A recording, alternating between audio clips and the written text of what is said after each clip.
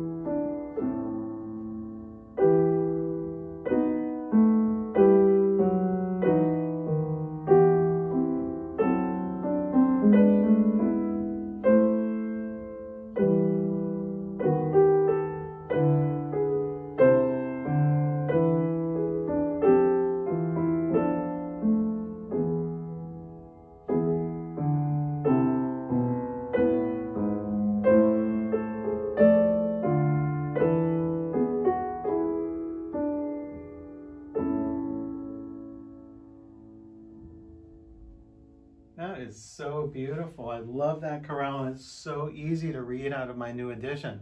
Uh, before I discuss this and uh, these other Bach chorale editions that led me to make my edition, you might be wondering about my shirt. Led Zeppelin, United States of America, 1977.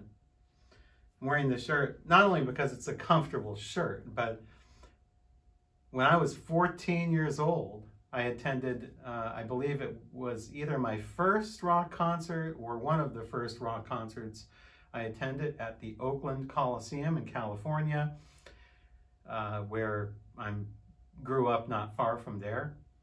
Uh, 14 years old, I saw Led Zeppelin. They were like the first rock concert I ever went to. Can you believe that? I, I'm trying to think who who opened up for a bunch of other bands opened up for them. I can't even remember. I remember Judas Priest, the old Judas Priest back in 1977. They they were almost they weren't that well known then. They opened up for Zeppelin and Zeppelin. I can't believe that. I mean, it really shows my age. Anyway, back in my former life, high school, college, I was a big fan of rock and roll classic rock, certain types of heavy metal. I still am. So now you know another side of Bach Scholar that you may not have known. Uh, so this is not blasphemy. So Bach Scholar is, is, is allowed to wear a Led Zeppelin shirt if he wants to. So anyway, let's get down to the topic at hand here. So I have one, two, three, four, five. I have five editions of Bach's chorales, all very different. And this is what led to my edition here that I'm featuring today. Uh, the first edition is uh, the Riemenschneider edition here. It's very famous, the 371 harmonized chorales. Everyone knows this edition, or if you took music theory, you know this edition. It's it's it's nice for research. It, uh, you know, it helped me to compile, uh, you know, to compile a nice list of chorales and so forth, but the reading of it is just impossible. It's just, everything is crammed together. It's really hard to read, very difficult. So this can be really disregarded as, as an addition even to play on the piano. So um, we, you can just simply forget about that one. Then there's uh, the four-part chorales of J.S. Bach, uh, with the German text of the hymns and English translations by Charles Sanford Terry. This is uh, a new edition of the older, I think it's a reprint of the older edition. Excellent, excellent book. This is a masterpiece of scholarship here. Uh, Charles Sanford Terry was, was a first-rate scholar in what he did. There are, I think, uh, 405 chorales, if I believe, uh, in here, and they're, they're all very accurate. They're relatively easy to read, even though they're small, because the printing is bold with the, the German and English translations here for the texts. But it's, in terms of playing them on the piano, it just, it's almost impossible. This book doesn't stay open and, you know, you have to get something to keep the book open. So it's, it's really impractical for playing at the keyboard, but it is an excellent book nevertheless, and I do highly recommend it. If you are uh, doing research or if you're a scholar in any way in Bach, or you, you need that book. That's excellent. Now, this is one here, Chorales Harmonized by Johann Sebastian Bach, collected and arranged in melodic order by H. Elliott Button, with a new preface by Peter Williams, published by Novello. And this is from 1985. This is currently out of print. And it's unfortunate because, in my opinion, it's the finest edition of Bach's chorales. In fact, this is the edition that I used for preparing about 95% of my current book here and all of sight reading and harmony. 100% of sight reading and harmony, the chorales came right out of this book here. This was my main source because I really trust it. It's an excellent edition. It's from about, about 1923. As I said, it's out of print now. Uh, but this is an excellent book. I think I had this in my lib library because I used it for a theory class many years ago when it used to be in print. This is excellent. There's a, it's in a certain melodic order. I think there's about 385 chorales in here. I still read out of this. I mean, they're relatively easy to read. They're, it, it's a lot easier to read than the uh, Riemenschneider is, but nevertheless, it's not really a piano edition. It's really not meant to be a piano edition. then we have the 413 Chorales uh, by J.S. Bach by Christopher Czarnecki. And this is the analyzed version. There are two books, there, there are two versions of this. There's one analyzed and one not analyzed. When I bought this from Amazon, I did not realize there were two versions of it. And so I happened to accidentally buy the analyzed version and then I for the longest time I thought this was the only version there was and then I checked and discovered that there was also the non-analyzed version. The analyzed version has these Roman numerals analyses for all the chords and it's really a distraction to the eye. It's really I should have bought the other one.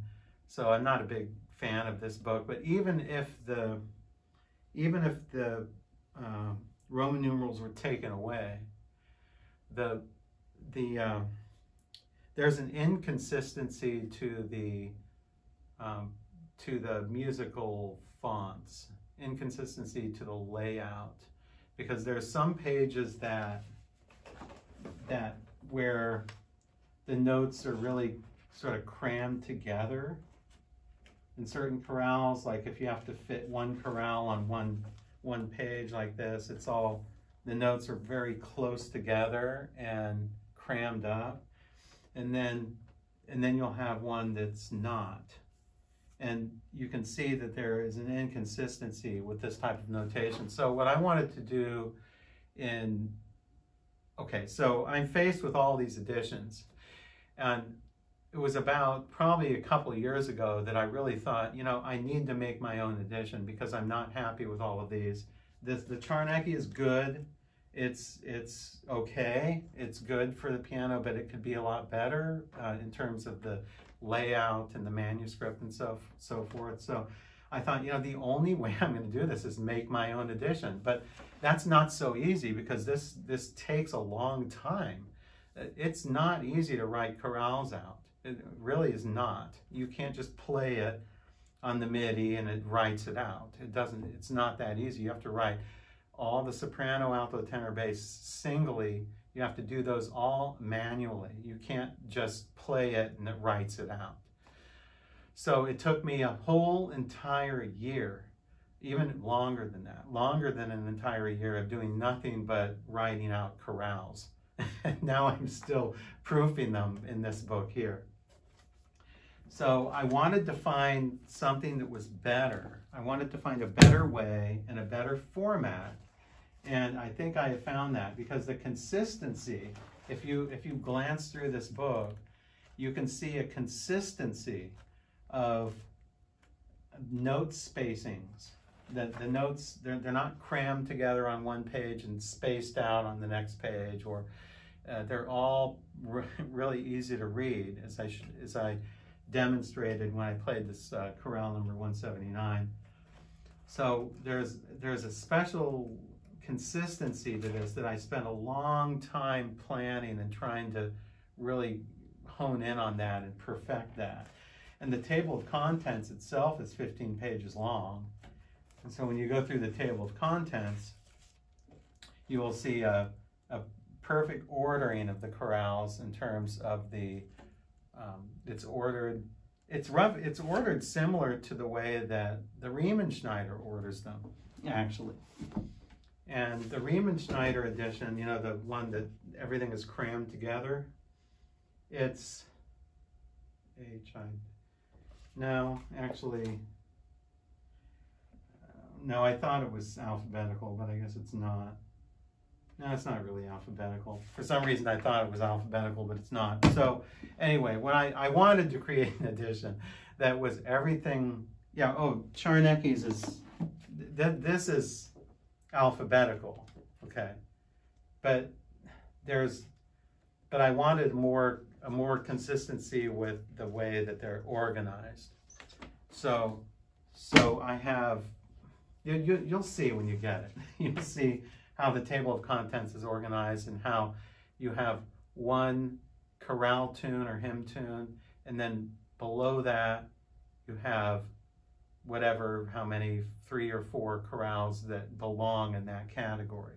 And you can see, so, so that you'll, it's hard to explain here, but you'll see when you get your edition that it's the way that it's organized. So I wanted to have something that was organized that way, organized correctly, not by BWV number.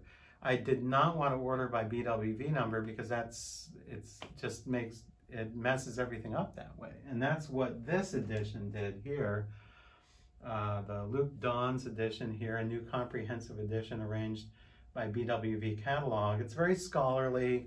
It's, it has all the tables and indexes that you would ever want and ever need. It has the German texts, all the chorales. It has 420 chorales in it, more than any other book to date, uh, except mine has 436 now, and I'll explain that in a minute, how I got those. But this, it, it's very hard to read. It's very small print. It's not really something that's, that's enjoyable to read at the piano. This is a book for scholars. So if you're doing research, if you're a musicologist, music historian, music scholar, then this is a good book. But otherwise, it's not a good piano book. I wanted to create something that was good for the piano. So, one thing that I wanted to avoid was eight and a half by 11 pages. You see, these two, the Czarnecki and the Dahn, are both eight and a half by 11 inches. This is the standard American letter size. It's called American letter. And this is the size, I think they only have it in North America or maybe just a, um, maybe just the United States. This is a not a good a size page to use. Not good at all. Most music books use what what is nine inches by 12 inches. So when you when you look at so nine by twelve, if, if you look at these, see how much bigger this one is than this one? See, so this is eight and a half by 11, that's American letter size. This, and, and so is the Czarnecki. This is letter size. This is standard concert size. I think they call it, in, in the Sibelius program, they call it concert size. this allows you to get bigger writing and, and to get longer lines, and it's much easier to read. So I wanted something that was 9 by 12, spiral bound, had the chorales ordered in a certain way, and was highly legible at the piano. And that I think I've accomplished here. So I'm just proofing this and pretty soon it will be ready. So I'm really happy about this edition. When I sit here at the piano, I can read all of these easily, much easier than any of these other editions that I've been working from. So uh, this is the uh, sort of the origins or genesis of my uh, chorale book here that um, I know you will love it when you get it. It's great for an all-purpose book, for sight reading, for uh, musical analysis, and this is it's just a it's a, just such a great book. I am so glad that I spent a whole year out of my life doing nothing but doing making this book. You know, this was the only project I worked on in terms of books uh, almost nothing else. I just dove right into this and spent probably a whole, almost entire year doing nothing but this book. So it will pay off. So I think I've done enough talking today. Uh, thank you for joining me, and until we meet again.